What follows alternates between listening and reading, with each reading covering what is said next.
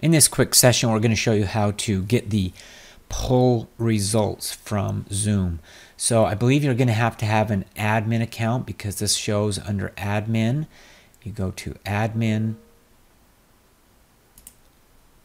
account management, reports, then you get usage reports. You can say webinar, then go to poll, choose the date,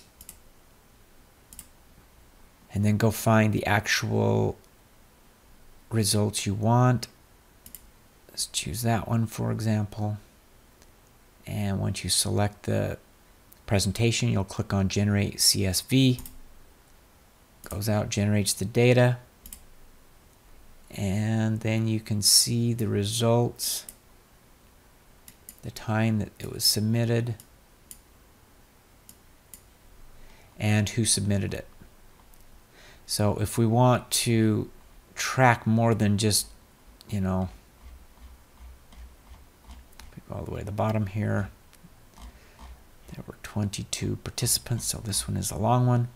You'll be able to see that Jerry, you know, this would be the question, and then this would be the answer.